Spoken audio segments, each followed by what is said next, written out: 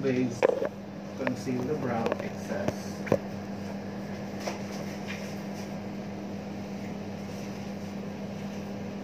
Raise your brows. Raise your brows. Look surprised. Yeah, good.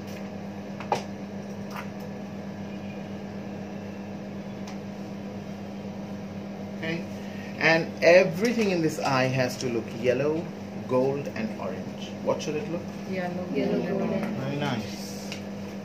Chin up. Look to your knees. Only support.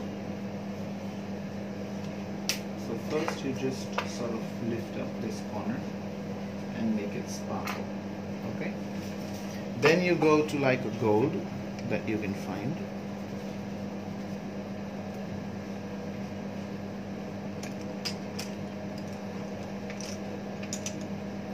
Then you can pick up an orange or a peach which is slightly shiny. and just blend it and take it there. Okay? Now you take your blending brush. What was the first color? This Thank you.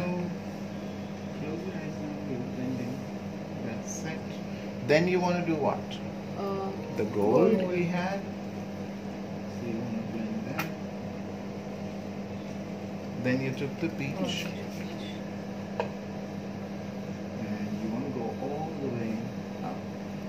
Now the effect of this eye should look just sparkly and glossy. Okay?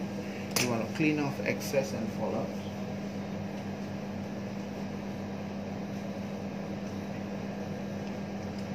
Straight. And I can add a bit of sparkle to the inner corner of that eye.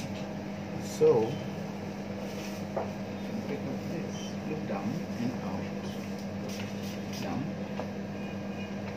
Just a little more. So like a pigment effect. Or metallic shadow. Yeah. Got it? That's all that is there to the side. It's just shiny all through. From a nude to a gold to a peachy gold. So candle light, because when you light a candle, what are the color of the flame? Yeah. Off you go. Next, hop in quickly. I have three more to do. Hurry up. चलो चलो stop करना।